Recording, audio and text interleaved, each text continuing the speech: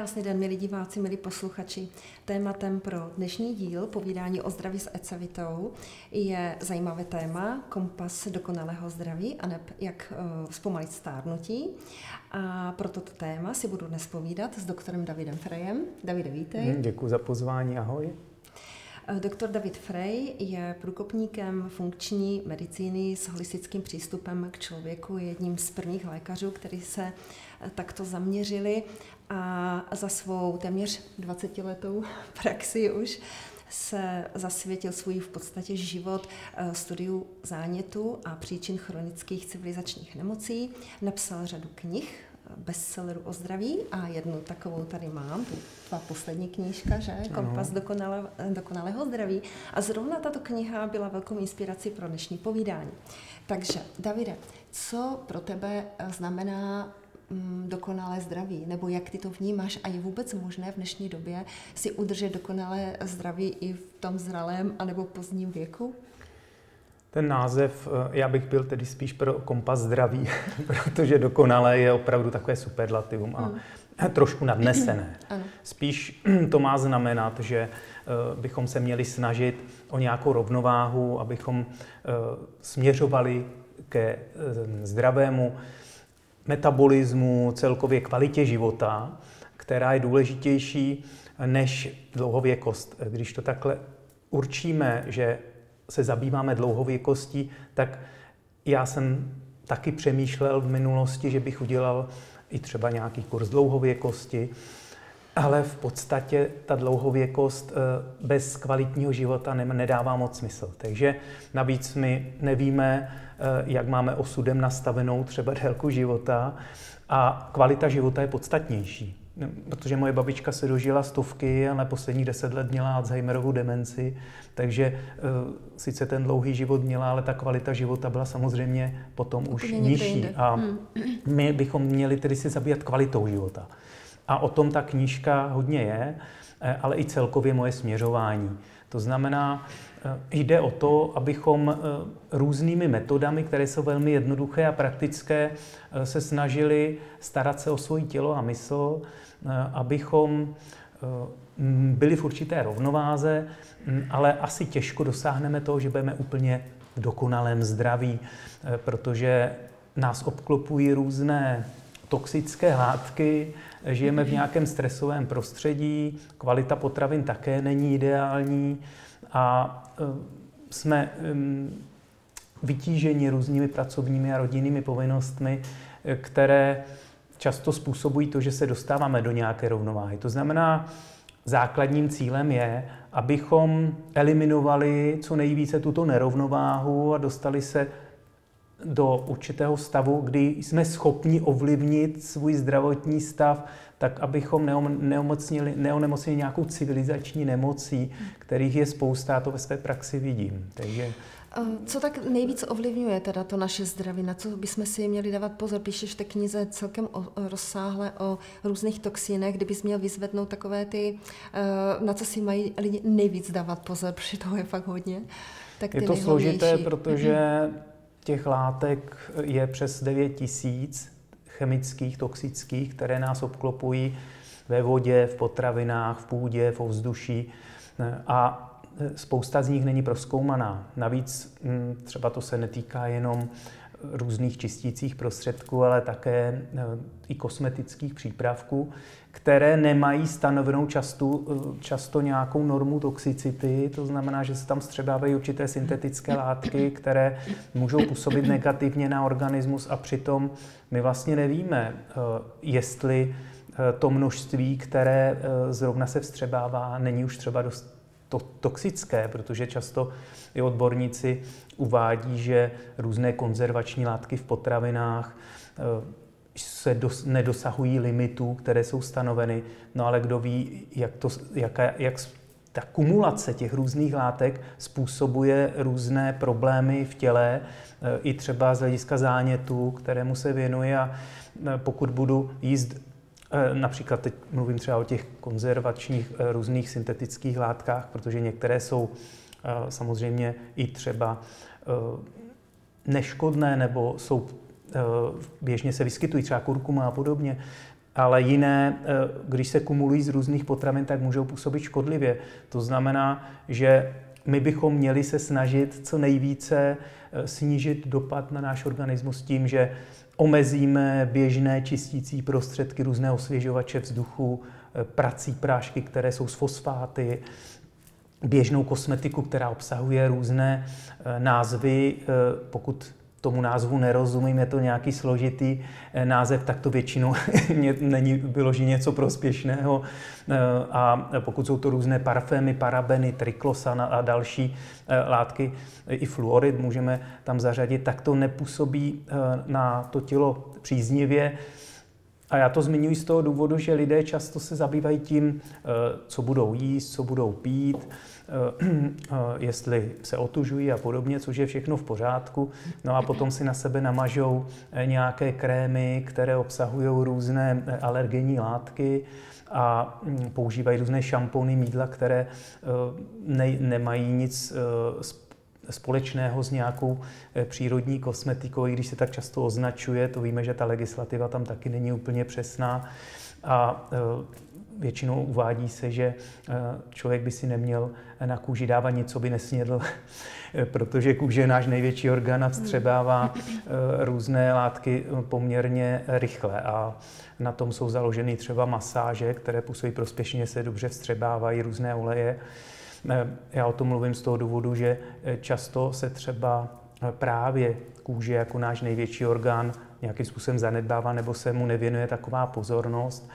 A e, spoustu látek neovlivníme, pokud chceme žít někde tom prostředí, kde jsme, ve městě, e, tak ven musíme chodit. Samozřejmě vdechujeme různé výfukové plyny a, a různé toxické látky, ale můžeme snížit dopad těchto látek. To je stejné se stresem. Stresu se nemůžeme vyhnout, to jsem taky slyšel často doporučení, vyhněte se stresu což v našem prostředí nejde, ale můžeme snížit dopad stresu. Můžeme používat různé jednoduché metody, jak eh, naše tělo reaguje eh, méně škodlivě na stres a to samé u těchto různých toxických látek. Takže není jich 80 tisíc, jak se často uvádí na internetu, ale i tak je jich asi 8-9 tisíc a snad jenom 5% je vyskoumaných, eh, jak působí na náš organismus. Hmm. Takže pokud můžeme, tak, si může, tak se zajímat o to, co obsahuje, obsahují prostředky čistící, kosmetické, které máme v koupelně, v kuchyni, co má, co, um, jaké osvěžovače používáme, um, jaké,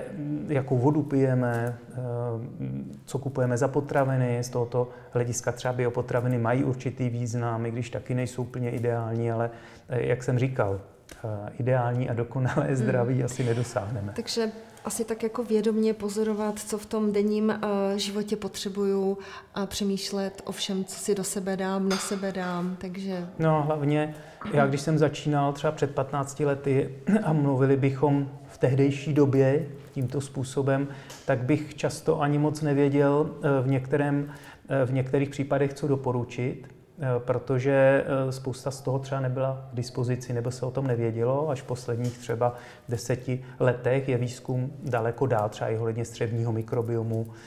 A eh, ta doba hodně pokročila, takže teď i ta dostupnost nevím, přírodních, opravdu kvalitních třeba kosmetických přípravků, je možnost se i, i najít nějaké kvalitní zdroje vody. Potraviny také, jak jsem říkal, nebudou tak ideální, eh, jako se uvádí v tabulkách z hlediska složení třeba mikronutrientů, protože já jsem viděl někde přehled od roku 1940, že pokles mikronutrientů je výrazný v potravinách eh, až třeba o 40% To znamená, že to, co se tabulkově uvádí, že v nich je, tak tam eh, třeba může být jenom z poloviny, hmm. ale můžeme snížit ty rizika eh, svým chováním eh, maximálně, jak mm, můžeme ovlivnit aspoň do jisté míry. Hmm.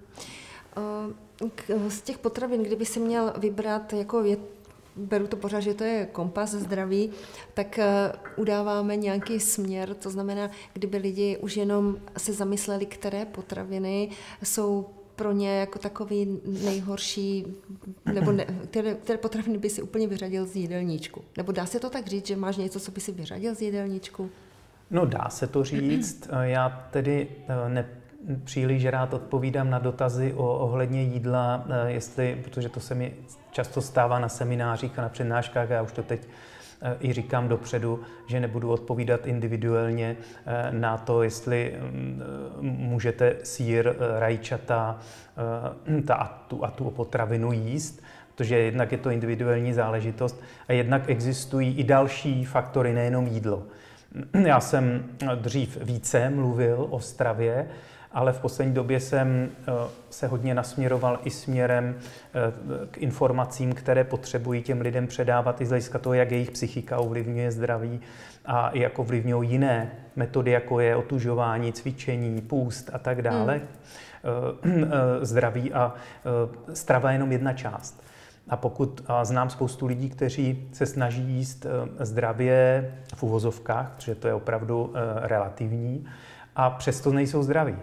Eh, protože pokud nemají v pořádku psychiku, nebo mají chronický stres, nebo nemají rovnováhu životosprávy celkově, protože tam jsou i právě ty psychické faktory, to znamená, není tam dostatečná relaxace, a nebo na co se zapomíná spánek například, není kvalitní, tak ta strava ehm, nevyřeší ty problémy a, a, ten, a ty zdravotní obtíže, které můžou nastat. Mm.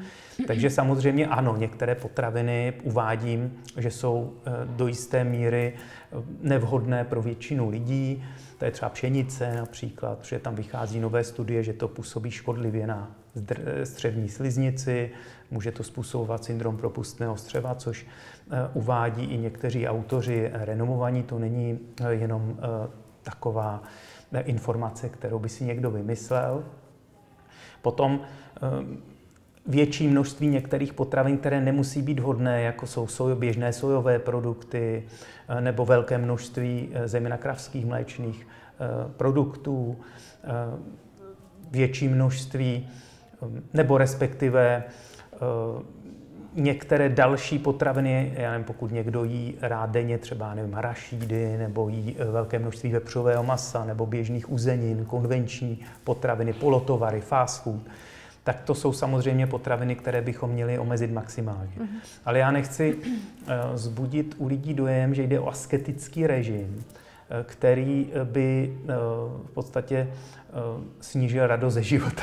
Ano, to jsme Proto, se bavili zrovna. Protože to, na to, to, to právě o to nejde. Jde o to, že mám určitý přístup, který mi vyhovuje a snažím se některé škodlivé věci omezovat nikoli z toho, že bych vyloženě se nutil k tomu, ale že mám nějakou motivaci tomu se zabývat svým zdravím a e, to je taky jeden z bodů, které uvádím jako základní pravidla, dejme tomu, v tom kompasu zdraví. Mm-hmm.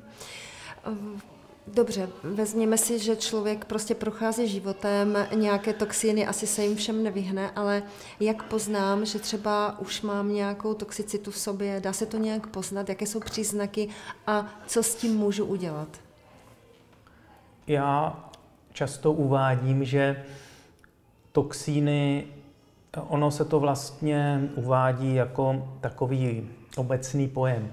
Ale ona vlastně ten pojem detoxikace a toxíny vlastně není úplně správný terminologicky. Protože detoxikace probíhá v našem těle, máme ji nastavenou a nejenom tedy v játrech, ale i třeba ve střevních buňkách, což je jako zajímavé, co se zjistilo, jak fungují eh, buňky střevní sliznice. Eh, ale i z hlediska toxínů, vlastně toxíny, endotoxíny jsou e, striktně řečeno to, co vytváří bakterie. Takže e, lépe, říkáme toxické třeba látky nebo toxické chemické látky, ale e, toxicita těžko takýmto pojmem asi označit stav v těle. Já mám raději právě třeba, nevím, poruchy metabolismu, zánět chronický, různé projevy toho, že samozřejmě játra mohou být oslabená a ta detoxikace, která probíhá v játrech, eh, opravdu neprobíhá eh, tak, jak by měla ideálně, tak to se potom může projevovat samozřejmě nějakými příznaky. Problém je, že jsou nespecifické často. To, co já nejčastěji v praxi vidím, je únava. Mm-hmm. To je první nespecifický, to neoznačuje konkrétně nějaký problém, eh, že by to cílilo přímo tak únava je daná tím, že mám třeba stučnělá játra, což je teď epidemie, ale označuje to, že něco není v pořádku. Když se vyspím, když uh, mám normální pracovní režim a vstanu a jsem unavený, tak to není normální unava. Když přijdu po deseti hodinách z práce domů večer, tak jsem normálně unavený. Mm. To znamená, nepřirozená únava je jeden z takových hlavních nejčastějších příznaků. Ale potom je to spousta dalších příznaků, které se týkají v podstatě celého těla eh, a nejenom fyzicky, ale i psychicky. Takže mm, často bývají psychické problémy, jako, je, jako jsou úzkosti, deprese. Mm-hmm. Co se týče fyzického těla, tak jsou to bolesti kloubů, kožní problémy, poruchy imunity, zažívací obtíže. A eh, tady je potřeba potom zjišťovat vlastně, kde vznikají ty problémy. Mm-hmm. A pokud tedy se objevují nějaké obtíže, které e, předtím třeba nebyly, nebo jsou spojené s něčím, e, co nemůžu odhadnout, respektive nezjistím, že je to díky tomu, že jsem třeba měl špatný spánek, tak jsem unavený, ale proč se mi najednou objeví exém, nebo proč mám najednou třeba zácpu nebo průjem, a spousta těchto problémů ale lidi mají třeba celoživotně nebo dlouhodobě, takže... Už to ani nevnímají. Já se těch lidí hmm. zeptám, jak dlouho máte třeba ten problém a tak mi řeknou třeba 15 let, že mají třeba nadýmání nebo zácpu a v podstatě jako celou dobu se tomu vlastně nikdo nevěnuje. Takže hmm. to jsou jakoby chronické obtíže, ale uh, spousta obtíží se může objevovat třeba v posledních měsících nebo i týdnech a tam to značí, že dochází k nějaké změně a není to tak, jak se často hmm. uvádí, že je to věkem. Hmm. Akorát není jednoduché to vyspecifikovat a najít tu příčinu, protože ono to může souviset e, se vším, se vším všudy, že? Ale děláš ty nějaké testy, jako dá se, protože spousta lidí třeba nám píše i dotazy ohledně těžkých kovů, hmm. jestli se to dá v těle zjistit, co používáš jako, jako metody na zjištění? Je to velmi obtížné, protože Eh, já se zabývám tím, že zjišťuji eh, vlastně důvod, proč tam vznikají právě tyhle příznaky, jako je třeba ta únava.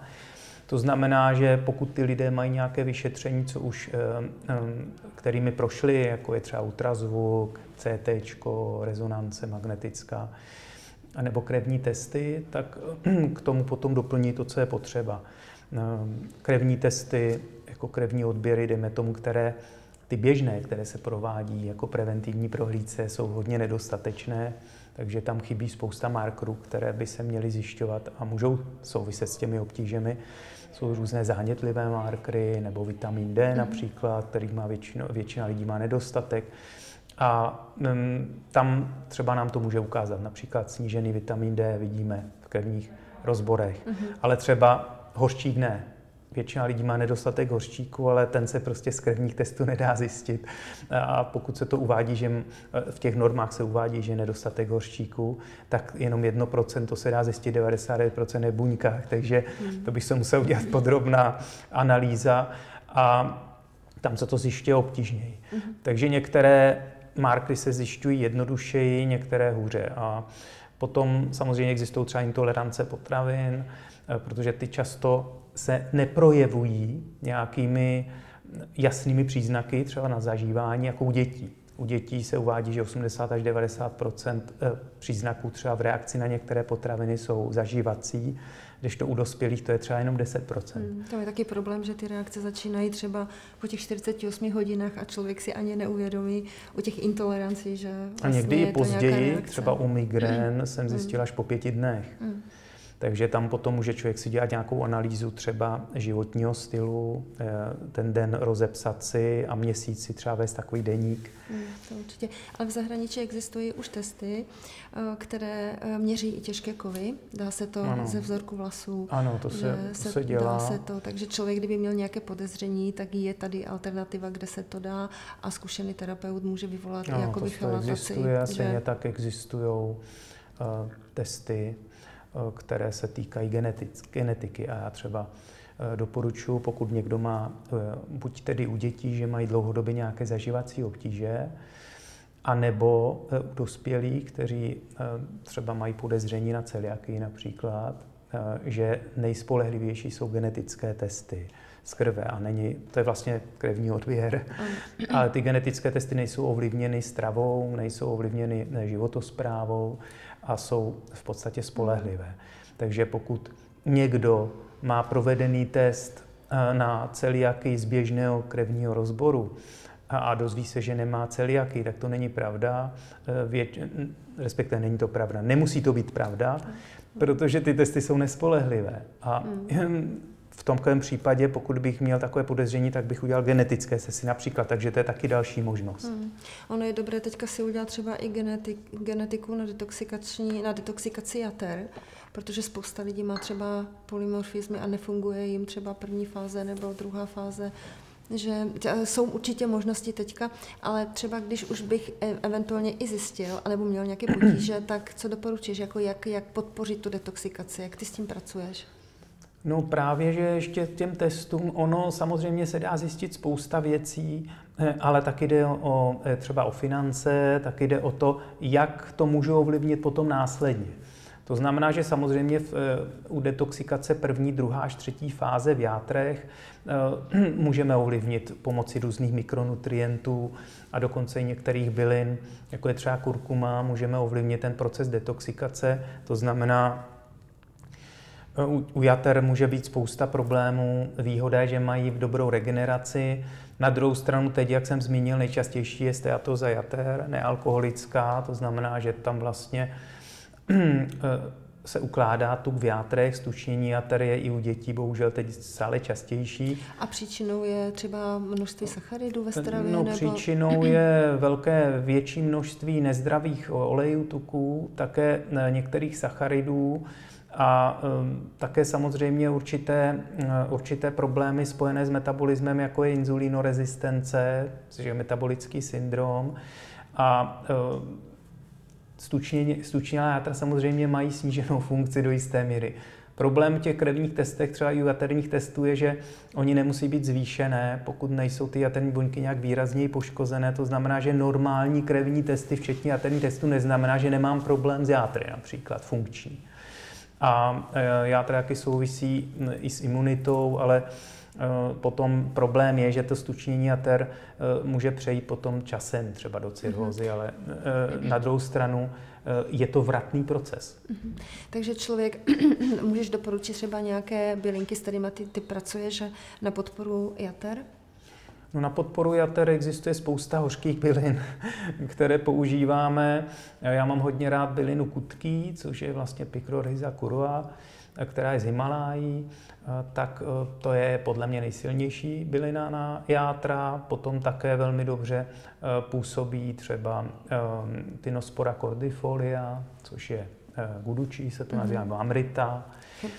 Ostropestřec taky, jako jsem zjistil, že je dobrý. V podstatě dokonce pasta třeba s ostropestřecem má velmi dobré výsledky.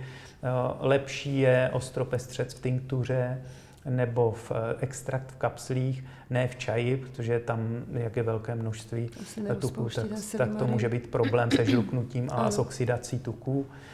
A eh, potom eh, samozřejmě další, další byliny, které bývají v jaterních čajích například, které se používají, a ať je to smetanka lékařská, ehm, kopřiva a další byliny z našich luhů a hájů. Ale mm, ta kombinace třeba ostropestřez nebo takový jaterní čaj z našich bylin plus třeba to kutký v nějaké kombinaci se mi osvědčilo asi nejvíc. Mm-hmm. I, slyšela jsem taky o, o trifale, hodně, hodně s ní pracujeme a zajímavé je, že vlastně pomáhá s navázáním těch těžkých kovů ze střev. Máš ty s tím nějaké zkušenosti? Samozřejmě se to špatně hodnotí, že bych teď zjistil, že některá bylina nebo doplněk o 50% snížil množství rtuti v těle, ale eh, určitě eh, ty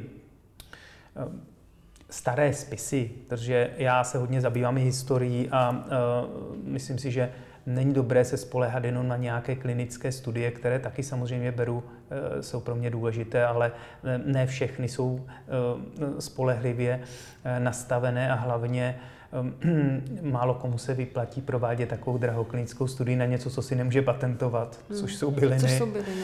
A proto trifala má ale velmi dobrou historii uh, používání tisíce let a používám ji uh, v rámci různých uh, pobytů ozdravných a také individuálně a nejenom na podporu detoxikace, ale také třeba na podporu trávení.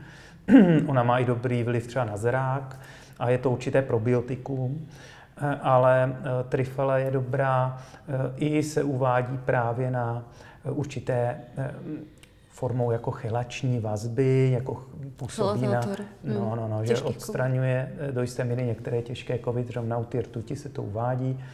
A tam patří třeba chlorela nebo koriandr, jo, že si člověk může udělat třeba koriandrové pesto, to se uvádí jakoby určitý prostředek na eh, odstraňování nebo snižování množství těžkých kovů. A eh, samozřejmě eh, existují různé metody, jak podpořit detoxikaci a to jsou třeba krátkodobé půsty například a o těch píšu třeba v tom kompasu dokonalého zdraví. Hmm. Tomu věnuješ teda podstatnou část a uh, zdá se mi, že je to takový klíč téměř ke všemu. Já bych se chtěla zeptat, protože uh, máme tady spoustu dotazů a Rozdělila bych ty dotazy na několik skupin. Hodně píšou lidi, kteří, protože ty se věnuješ těm civilizačním nemocem a ptají se lidi hlavně na třeba diabetes dvojku, který je teďka velmi častý metabolický syndrom.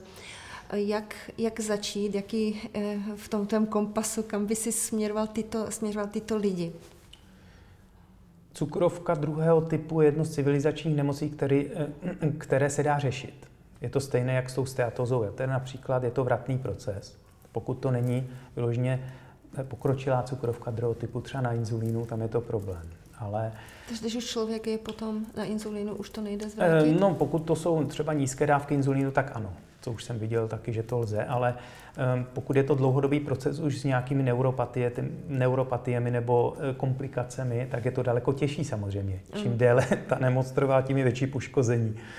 Ale uh, Cukrovka druhého typu je jedna ze součástí metabolických poruch. Říká se kardiometabolické nemoci kam patří různá ateroskleroza, kornatění tepen, cukrovka, obezita a celkově metabolický syndrom v podstatě je inzulínorezistence. A tato nemoc, nebo tento syndrom, nebo soubor příznaků vlastně souvisí s nějakou životosprávou a souvisí s poruchou metabolismu, e, která je daná nejenom stravou, ale také eh, nedostatkem třeba správného pohybu, neříkám celkově jenom pohybu, ale správného pohybu, a také určitým stylem života, protože eh, ono není důležité jenom, co jíme, ale taky kdy jíme například. Jo? A tam vznikly třeba zajímavé studie, které tam taky popisují, eh, že dokonce v některých studiích záviselo, záleželo více na tom, kdy ty lidé jedli, než co jedli a kolik jedli. Mm-hmm.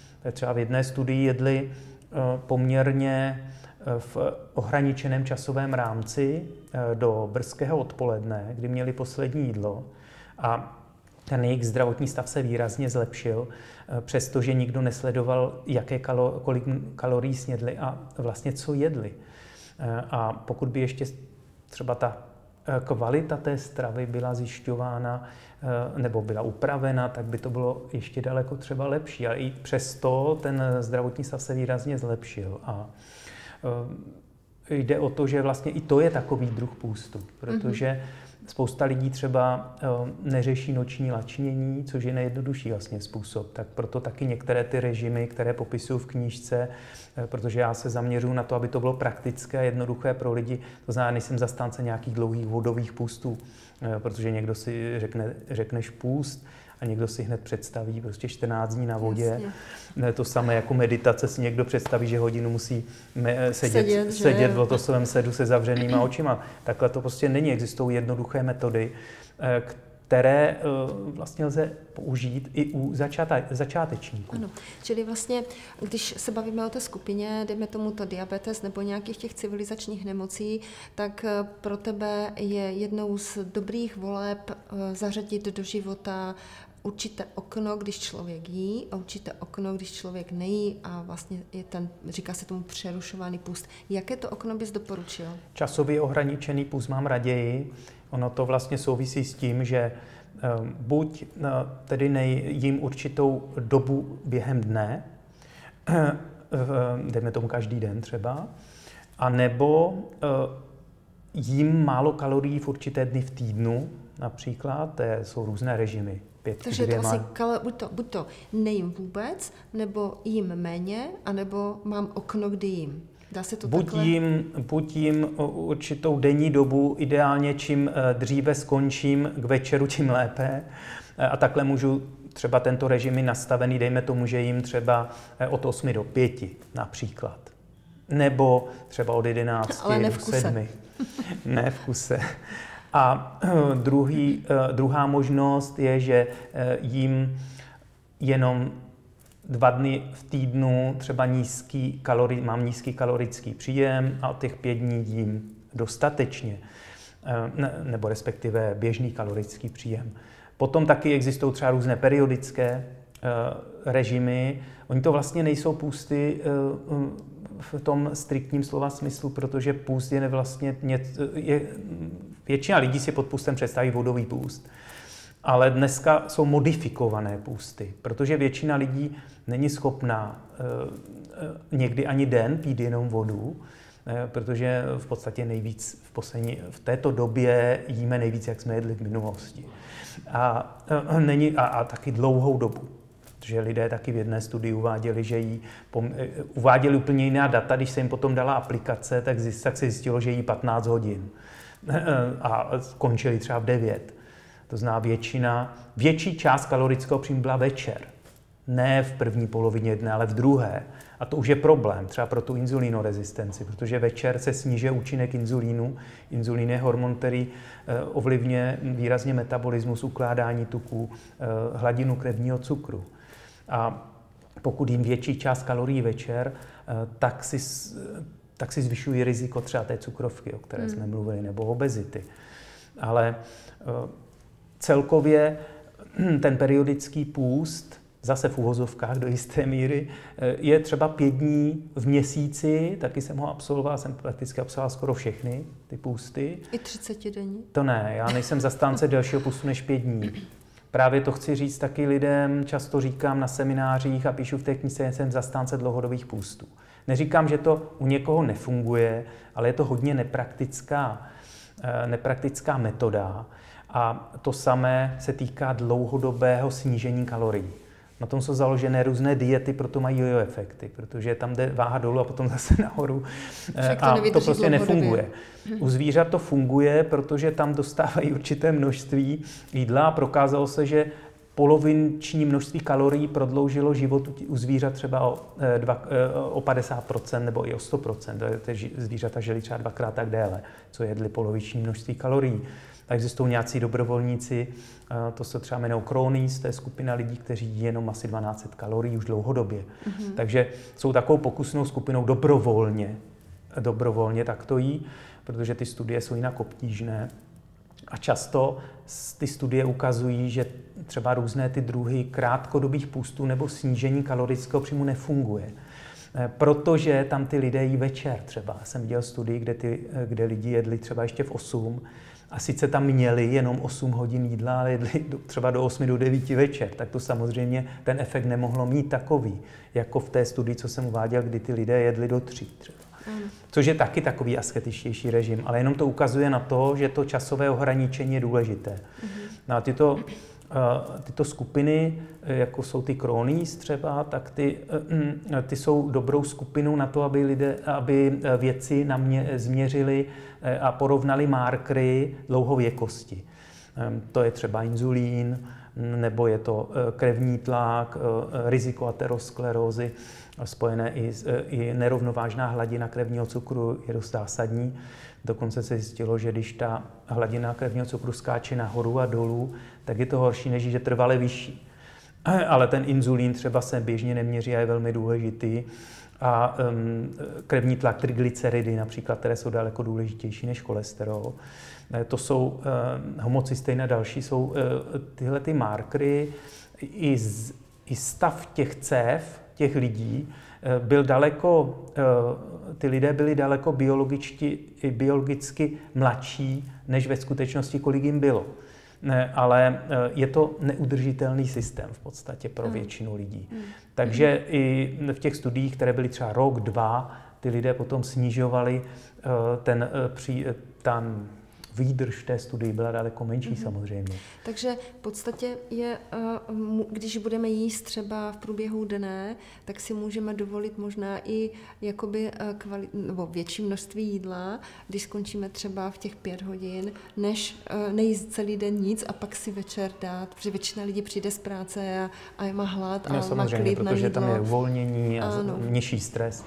Přesně. No ale já jsem vlastně chtěl říct i k tomu, hmm. protože já jsem přešel k těm dlouhodobějším půstům a tomu snížení kalorií, eh, že eh, praktičtější způsob je třeba, dejme tomu, pět dní v měsíci jíst méně a zbytek toho měsíce jíst běžně stravu, kterou, kterou máme a můžeme to opakovat. Třeba při takových onemocněních, jako je cukrovka, se může třeba každý měsíc, pět dní jíst méně kalorií. A e, potom existují ještě další modifikované půsty, dokonce tukový půst existuje, že se jenom potraviny, které mají hodně tuku a málo sacharidů, bílkovin, protože ty zvyšují inzulín. To je mhm. založené na tom, že půst je, nebo takovýto modifikovaný režim je založený na snížení inzulínu mimo jiné. Ale ukázalo se, že e,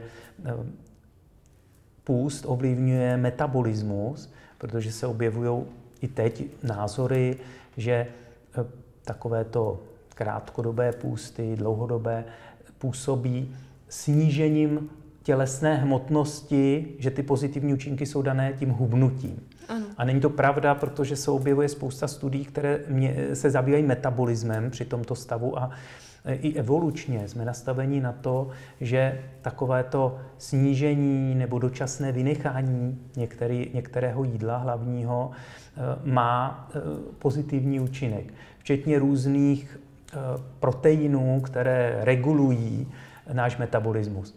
Protože když jíme, tak se aktivují různé kofaktory a enzymy a proteiny, které vedou k anabolickému účinku. To znamená, že vedou k tvorbě nových buněk, tvorbě nových bílkovin. A my bychom to měli vyvážit tím kontrastem, že snížíme dočasně kalorie a tím pádem se některé tyto mechanismy vypnou, které vlastně de facto, dá se říct, eh, urychlují stárnutí a zapnou se geny, které souvisí eh, s určitým směrem s dlouhověkostí, protože eh, ty se nemůžou aktivovat, pokud jíme. A ten stav vnímání těch živin, těch nutričních látek právě nastává, pokud jíme každý den, dokonce se říká čtyřikrát, pětkrát denně, zatímco když nejíme, tak e, tím podporu, zpomalujeme stárnutí, jak, jak mm-hmm. o tom mluvila na začátku. Ano a samozřejmě, když nejíš, tak e, svým způsobem je to určitý i stresový stimul pro tělo. Je tam stres a ty, jako tam je jsem se chtěla zeptat, že když vlastně člověk nejí, tak zvyšuje se kortizol a třeba adrenalin, noradrenalin. A co když je člověk jako za prvé hubený, vystresovaný, tak eh, ne všichni si můžou asi ten půst třeba dovolit v daných situacích. Třeba matky, které nespí, maminky mladé. To je nebo... dobrá otázka. To se ale dostáváme do kontraindikací nebo do eh, tedy ke skupinám lidí, ke, u kterých není vhodné vynechávat, zvláště na delší dobu jídlo, což jsou malé děti, těhotné a kojící ženy, eh, lidé s podváhou, eh, ženy s poruchou příjmu potravy.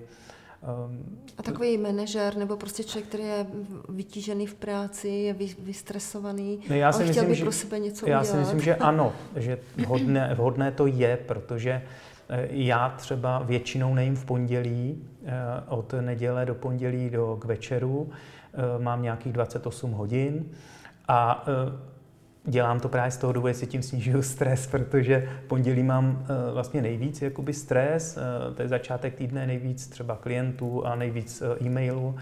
A mě vlastně to, že nejím, snižuje stres tím, že se nemusím zabývat tím, co jím. Zároveň mám tu motivaci, že vím, že takto krátká doba bez jídla je prospěšná a e, neubývají mu to, u toho svaly. To ale výjimečný, dále. protože já třeba mám stres, že vím, že celý den nebudu jíst. ale když si to nastavíš v hlavě, e, tak je to něco jiného. Já takhle používám třeba i tímhle způsobem, když jedu někam na seminář nebo na cesty a vím, že tam budu mít seminář v 6 večer, tak předtím se mi nechce jíst, to je člověk unavenější a zejména na cestách neví, většinou si můžeš kopit nějakou hloupost a po semináři už zase je pozdě. Takže si dám třeba čaj a já během takovéto třeba jednoho dne si dám někdy i třeba kávu nebo černý, zelený čaj, Eh, ten kofein i tlumí hlad do jisté míry, ale ono tím tréninkem, to je jak u cvičení, Jasně, se v podstatě snižuje pocit hladu a, a to hlad není ani. Ty jsi třeba taky mm, celkem hubený, takže když takhle to dodržuješ, tak nehubneš dál. Já nejsem, já Nebo jsem taková konstituce, štíhlý, protože štíhlý, já mám 75 kg a mám eh, tuku asi 17%, takže já vůbec nemám jako nižší hodnoty. Ano. A uh, myslím si, že je to dobré právě pro tu rovnováhu, ale uh, to je opravdu v nastavení hlavy, a jak jsem mluvil o té mysli a taky o té motivaci, ale také jde o to, že my můžeme začít postupně. Já jsem taky začínal 16 hodinama, to znamená, že jsem třeba vynechal snídaní. A rozumím, že někdo třeba si nedojde představit vynechat snídaní, že by měl třeba eh, málo energie nebo eh, by mu nebylo dobře, to bývají ženy třeba mm-hmm. ráno. No, no tak můžu uh, si posunout tu snídaní, nebo můžu vynechat nějakou svačinu, nebo můžu třeba si dát lehkou večeři, nebo ji zkusit časem vynechat, nebo začít 13 hodinovým nočním lačněním, že od večeře do snídaně mám 13 hodin, potom 14, mm-hmm. potom třeba 16, no a časem třeba přejdu na 20 mm-hmm. nebo 24 hodin. A ty ještě píšeš, že i teda počet těch porcí jídla, jako stimulace toho inzulínu eh, nebo tvor krevního cukru, to znamená, je lepší si dát větší množství dvakrát denně, anebo někomu, když vyhovuje třeba, že potřebuje třikrát, potřebuje snídaní, oběd a třeba tu večeři si dá v těch pět, eh, je to jedno, anebo je důležité prostě dělat jenom ty dvě jídla? Určitě ne. Může, někomu můžou vyhovat čtyři jídla třeba, teda s těmi dlouhověkými lidmi, co jsem mluvil ve Středomoří, tak ty jedli jednou, dvakrát denně. Ale můžu jíst třikrát, čtyřikrát denně. Já většinou jim třikrát, někdy čtyřikrát, když mám cvičení, třeba odpoledne, si dám něco po cvičení. Takže tak to striktně bych to asi nedefinoval, ale určitě bych nejedl větší množství malých porcí v krátkých intervalech, třeba po dvou hodinách, jak se tvrdí. A e, takže čím častější jídlo, tím horší v podstatě metabolismus, ale e, to se týká s výjimkou třeba nevím, cukrovky prvního typu a podobně, mm. ale e, ani u, u dětí je to taky trochu jinak. Ale většinou tento režim je vhodný. A taky ještě existuje takové, takový přístup, že šest dní jíš eh, podle nějakých, no, dá se říct, pravidel, ale na 100% to nemusí být. No a jeden den je feast day, to znamená, že, že jeden den si může člověk dát, co chce, ehm, což eh, se mi uplatnilo u některých, eh, zejména klientek, které chtěli třeba zumnout, že se těšili na ten jeden den, že si, protože měli, mm, on je taky ten pocit viny, že, si, že mi říkali, že někdy jdou kolem cukrárny, dají si nějaký dortík s kávou a že z toho mají výčitky. Takže to jsem říkal, víte co, tak si 6 dní dejte jakoby takový režim, že nebudete za stolik řešit a jeden den si dejte, na co máte chuť, klidně jděte třeba tam do té cukrárny s tím, s tou kávou si to užijte a tím pádem se i může takhle zlepšit psychika. Určitě, určitě, to si myslím, že je dobrá cesta pro spoustu, eh, spoustu lidí. Dobře, takže Půst jako takový je, je, bys doporučil u těch chronických nemocí a zabírá to i při autoimunitních onemocněních? Určitě ano. Ehm, jak jsem eh, už říkal, v podstatě eh, se můžeme, tak to můžeme tuto metodu modifikovaného půstu eh, nebo snížení množství kalorií můžeme použít i autoimunitních nemocí. Nejčastější jsou reumatoidní artritída, teď samozřejmě on auto, autoimunitní onemocnění štítné žlázy, což je velmi časté, eh, také lupenka a další. Eh, půst, jak říkám, kdyby to byl dlouhý vodový půst, tak to asi nelze doporučit, ale pokud doporučíme krátkodobě vynechání některého jídla, tak to může vést k ozdravění eh, střevní mikroflory, střevní sliznice. A e, není důvod, e, vzhledem k tomu, že takto krátkou dobu nemůže člověk trpět nějakou podvýživou nebo že by ztrácel svalovou hmotu, což ani evolučně nemohlo by takto být, protože v minulosti jsme museli vyhledávat potravu, nebyl každý den jídlo, lidé trpěli hladem, potom měli zase jídlo, hezká knížka byla Hlad a hojnost, která vyšla.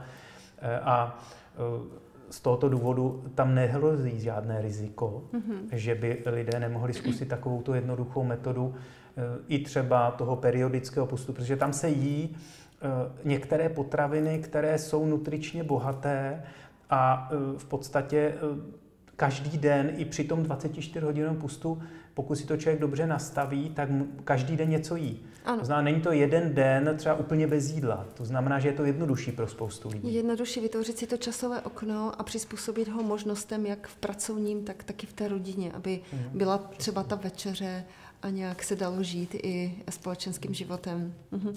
Tak eh, v podstatě jsme, jakoby si mi odpověděl teďka i na tu skupinu těch hubených, vyčerpaných, čili v podstatě i ten manažer vystresovaný by si to mohl dovolit, i ta maminka, která nespí. Horší to bude asi s lidma, jak si říkal, ti, kteří jsou podvyživení, malnutrice, tam, kdyby chtěli něco pro sebe udělat, tak, protože taky vlastně asi nebudou mít v pořádku střevní mikrobiom a střeva, tak to vynechání jídel je asi prospěšné možná i v tomto případě, když člověk nemá v pořádku ty střeva. A... Tak například um, třeba budeme mít někoho, kdo uh, má, nějakou takový, má tak, takovýto zdravotní problém a nemusí snídat. A teď já slyším, já, tak teď já se ptám, a proč snídáte? No, protože se to má, protože prostě mám snídat, mám obědvat, mám večeřet, tak se to i píše, říká. A já říkám, proč snídáte, když nemáte hlad ráno? A spousta těch lidí eh, mi řekne, no já vlastně jsem přestal snídat a vlastně mi to vyhovuje. To znamená, že musím taky vnímat to, jak uh, někdy to tělo mi nesignalizuje, zejména jak lidé říkají, že si le, uh, tělo řekne, na co má chuť, to není pravda, protože máme hodně změněné chutě a, a on ani hlad neexistuje, v podstatě pravý nemáme, to ani při tom krátkodobém pustu není hlad, to je nějaké emoční jezení, nějaký návyk. A, návyk a taky samozřejmě máme nerovnováhu hormonů, třeba toho krevního cukru, takže tam výkyvy se projevují nějakou slabostí, jakoby hladem. Mm-hmm. Takže eh, z tohoto důvodu lze eh, takovýmto způsobem začít, mm-hmm. že prostě člověk, který nemusí ani snídat, tak snídá úplně zbytečně. To znamená, mm-hmm. proč by snídal, když nemá hlad a může si posunout tu snídaní a nebo jíst až oběd.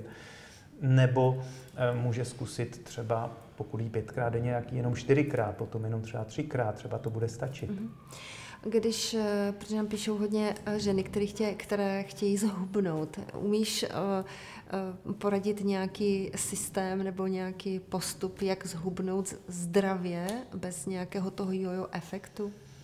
No tam je to komplexní přístup. To znamená, můžeme se tady bavit o vynechání některého jídla, samozřejmě to bude prospěšné, protože k čemu my máme zásobní tuk? To je zdroj energie, pokud nejíme, to nejsou svaly.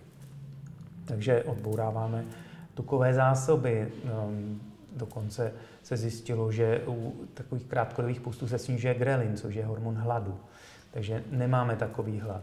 Proto já i říkám, že, ně, že ženy, které chtějí třeba zkusit takovýto režim krátkodobý a mají třeba strach z hladu, eh, v uvozovkách, tak můžou pít třeba tu kávu nebo nějaký kofeinový nápoj, protože kofein snižuje pocit hladu. Mimo, mimochodem, jedním eh, z cílů takových krátkodobých, nebo ne úplně krátkých, ale těch krátkodobějších půstů, třeba 24 hodiny autofagie, což je eh, proces, který vede k zpomalení stárnutí. Ten se aktivuje při třeba 24 hodinách bez jídla, ne, ale eh, i kratší vede k nějakým pozitivním změnám třeba snížení inzulínu, který vede k ukládání tuku. Když se sníží inzulín, tak se odbourává tuk. To znamená, to hubnutí je snažší, když se sníží frekvence jídel a sníží se množství jídla večer. To znamená, když bude jíst první polovině dne více, a k večeru méně, což v těch studiích vyšlo, že 40% lidí nejvíc večer. A často třeba, to bylo taky zajímavé, eh, že téměř 30 lidí jedlo už třeba za hodinu a půl eh, po předchozím jídle, takže jedli víckrát za ten den. Eh, neuzobávat, takový ten zvyk, že někde s ním třeba 10 mandlí, potom si vám někde dojím s ním někde jednu sušenku, což lidé nepovažují za jídlo. Ano. Ale v podstatě jim to vlastně pomaluje metabolismus. Snížit množství sacharidů, cukrů, Eh, rafinovaných olejů a tak eh, to je, dejme tomu, v té stravě. Mm-hmm. A potom také posilování, protože nestačí aerobní pohyb. Spousta žen třeba běhá hodinu na páse a nehubne, nebo při zumbě nemůže hubnout, protože neposiluje, protože svaly zodpovídají za vlastně ten energetický metabolismus z velké části.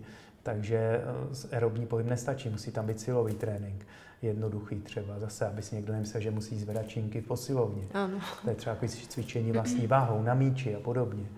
A mm, také otužování například, protože se ukázalo, že e, ta změna, ta kontrastní změna teplot vede třeba k vylučování e, různých šokových proteinů a, a vede to k aktivaci některých, některých markerů a k zvyšování množství mitochondrií, Eh, v buňkách, což jsou naše buněčné elektrárny, které vyrábí energii. A čím více máme energie a mitochondrií, tím máme menší únavu, takže když je člověk unavený, zase mu nechce cvičit. Hmm, a spaluje se víc kalorií, takže takhle jednoduše se dá eh, začít. Opravdu to není nic, co by se nedalo zařadit a není to ani třeba tak časově náročné, takže eh, opravdu tam nějaký postup je samozřejmě individuální často, proto ty konzultace dělám, že kdyby stačily obecné doporučení, bych psal jenom knížky. Eh, určitě.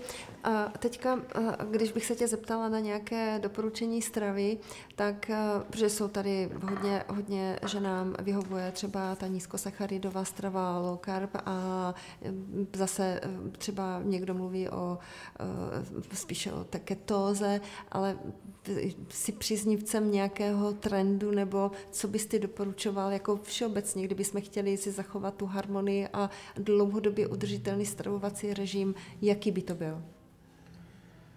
Tak já bych asi řekl, že tam určitě bych snížil množství sacharidů, obilovin zejména. Sacharidy můžou být zdravé samozřejmě, v zelenině například, v ořeších, ovoci některém.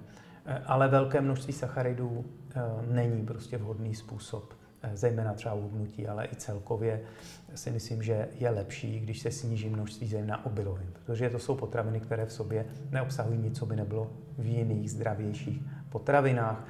A rozhodně neplatí, že vegani jsou zdravější než ty, co jí maso, ani vegetariáni nejsou zdravější než ty, co jí maso.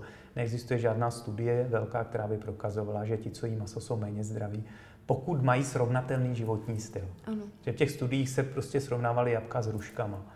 To znamená, vegetariáni měli lepší zdravotní styl a ti, co jedli maso, pili pivo, eh, kouřili a seděli u televize. No tak samozřejmě vyšli lépe vegetariáni, ale kdyby měli srovnatelný životní styl, tak by nevyšli zdravější vegetariáni. Takže eh, z tohohle hlediska určitě já jsem zastánce, přestože jsem byl 8 let vegetarián, jídl masa jako součást zdravého jídelníčku, myslím zdravého masa na zvěřina, biohovězí s farem a tak dále.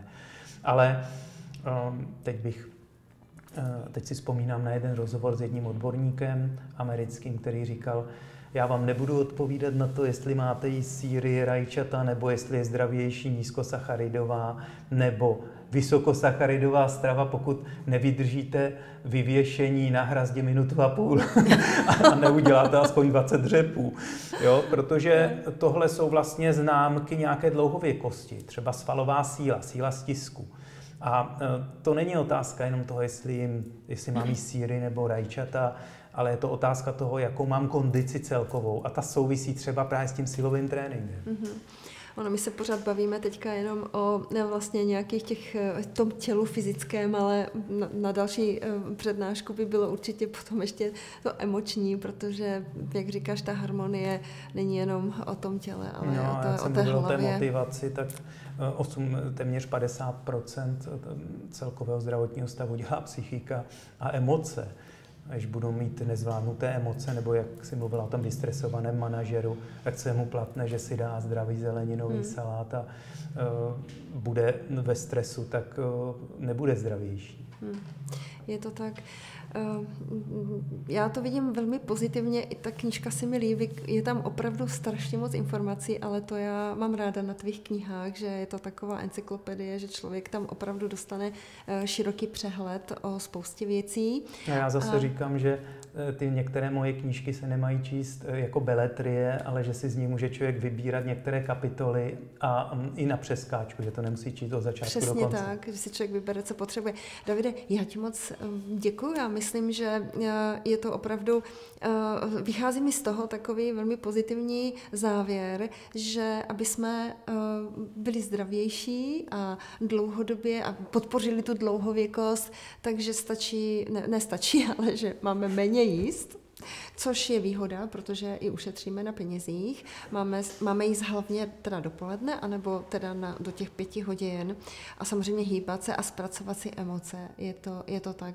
Je ještě něco, co by si chtěl tak jako Uh, ještě to jsme ani neřekli, nebo máš pocit, že nezaznělo? Já si myslím, že uh, bychom uh, měli u diváků zbudit dojem nebo zájem Eh, že se jedná o něco, co eh, zvládnou všichni, kteří eh, jsou přiměřeně zdraví nebo i mají nějaké zdravotní obtíže a že to není něco, co je určené jenom něk- některým vyvoleným, kteří jsou schopni držet 14-denní vodový půst. Takhle to právě vůbec není. To znamená, že my ty rady, které já i tam uvádím a o kterých jsme mluvili, můžeme zařadit do běžného života, i do běžného rodinného, pracovního života. Já mám doma tři ještě menší děti, takže vím, že se to dá nějakým způsobem sladit. Samozřejmě je to složitější, než když člověk žije třeba sám například. Ale zase uh, jsou určité uh, možnosti, jak uh, to začlenit do toho běžného života a um, nikdo z nás asi se nechystá do Himalájí někam do kláštera, kde by se mohl věnovat jenom sám sobě a meditovat.